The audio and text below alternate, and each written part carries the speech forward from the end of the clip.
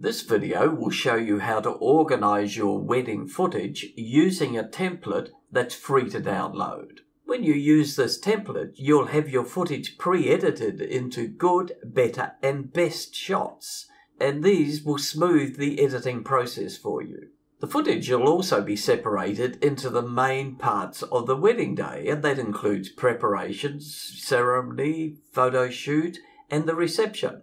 I'll show you how to use Final Cut's categorization features, that's folders, events, smart collections, and favorites. And as a bonus, I'll show you how to set up multicam for the best results for a wedding video. You'll also see the settings in the import window where Final Cut automatically selects the shots of people. So you'll see one person shots, close up shots, medium shots, wide shots, and two people shots. And at the end of the video, I'll show you how to duplicate the template each time you want to use it so you don't overwrite the original template and then each wedding has its own template. I'm Bruce McBride and I can provide one-on-one personal tuition over the internet. Just click on training finalcutpro.com. Let's get right into it. Final Cut is not just an editing program, it's also a database that separates and categorizes the different types of content in your footage or as it's known by Final Cut, your media. To keep the varying subject matter separate and easily locatable, Final Cut uses several different tools. And among these are events, folders, keyword collections, favorites, and smart collections.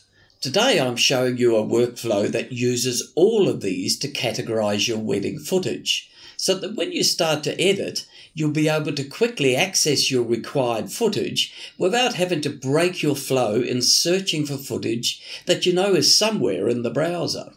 You can set up templates for future weddings or use the template that I've created here and that you can download for free. I'll show you how to create your own template at the end of this video. But for now, we'll use my template. Let's import some footage. And this is how the footage shows in the Finder.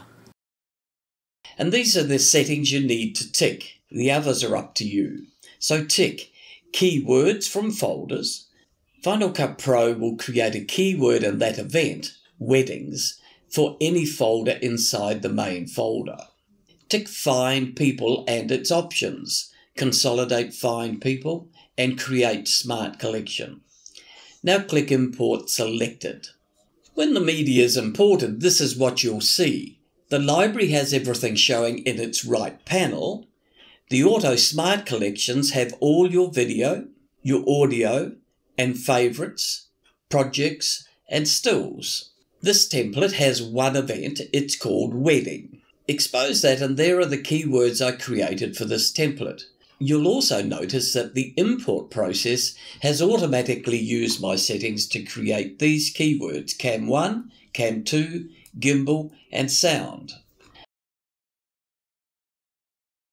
And this following step is not necessary, but for convenience you could put all of those into a new folder called Cameras. So let's just do that. Select the wedding event, right click and select New Folder, call it Cameras drag the keywords into that folder. There's also a new automatically created folder called People. Expose this and you'll see variable keyword selections of video footage, and these will differ depending on the type of video that you've imported. Now for the pre-edit. You should always ascertain if the cameras have names, and this is important for the multicam part of the edit. So go to the inspector and the camera name should show. If it doesn't have a name showing, type one in, while all of the clips in the browser are selected in yellow. Do the same for each of the other cameras. Now select Cam 1 again and look for the clips that relate to the bride's preparations. Select the first clip and scroll to the last bride's clip. They'll most likely be in numerical order, so with the Shift key down, click the last clip. Everything in between should have a yellow outline. Drag those into preparations bride keyword. And if you think that maybe bride's footage in the cam 2, look in there. drag those to the same preparations bride keyword. Do the same for the gimbal and sound if there is any bride's footage in those. Now go back to Cam 1 and select all the groom's prep footage. Drag that into preparations groom. I'll do this for one more set of footage and I'm sure you'll be able to do the rest of them into the appropriate keywords yourself. Select all the speeches media in Cam 1. Drag to the speeches keyword inside the receptions folder. Cam 2, gimbal and sound will most likely have media from the speeches content as well. Now select the speeches keyword and lasso all the clips. Right click new multicam clip. Check that it's the correct event, weddings. Check that use audio for sync is ticked. And on angle assembly, select camera name. And this is why you set the camera name earlier. Select video and set for the format that you want to use. And a tip, set for the dominant camera if there's been a mix of formats from different cameras. These settings that you've made here will be retained for future multicam edits. The completed multicam will show in the event. Drag it into the speeches keyword for convenience. And this is where the magic happens, and all the hard work will be rewarded. The following makes the best use of keywords and is why Final Cut beats any other editing program at categorizing media. With preparations bride selected, hover through the clips and select the best portions by clicking and dragging. And if you haven't done this before, it takes a few times to get the feel for it. Once the yellow outline is selected, press the F key. Do it for a few other clips just to practice, and you'll see a green bar over the portions of the clips that have been made favourite. Now select the word above, All Clips, and change to Favourites. And there are all the portions that are favourite. The green line covers the whole thumbnail because only the favourite portions are on view. Show all clips again and all your raw footage is back again. You can drag the favourites into your new project and just make minor adjustments because the pre-edit's already been done and it's only good footage in the timeline. All favourites in all categories can be viewed by selecting favourites in the Smart Collections. And if you need to remove a favourite from a clip, select the clip and press the U key. Now, if you've really got a lot of footage and you want to be more specific about your categorization, there's also a way of selecting good, better, and best selections of that footage. And I've created this for you in the guest dance category and you'll notice that there's a folder in there that contains the three categories.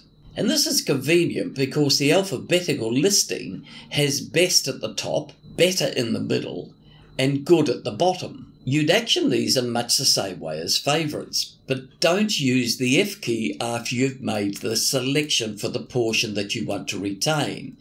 And then once that yellow outline is showing, drag the selection into good, better or best, depending on what you want that categorisation to be. And then you can edit the best selection into your project and know that there's more footage if you need it in the other keywords. You're welcome to use my template and modify it to suit your needs. Download the link, it's in the description below. And the following's important. Once you've saved the template onto your hard drive, you need to duplicate it before each edit. Otherwise, you'll be modifying the actual template. And this is how you do that. And this involves going into the Finder location for the template. Right click on the wedding template and select Duplicate. A copy is created and you can rename that copy double click the renamed copy and that will be launched and the original template will be unaltered. And this is how to create a new template. Create a new library and save it to the location that you'll remember. Rename the event to wedding. Right click on the event and select new keyword collection. Call that ceremony. Right click again and call that keyword preparations bride. Do that until you've created all the keywords that you want to use. You can have more than I have in my template, or you can have less. That's up to you. If you want the reception keywords in a folder, right click on the event and select New Folder. Call it Reception.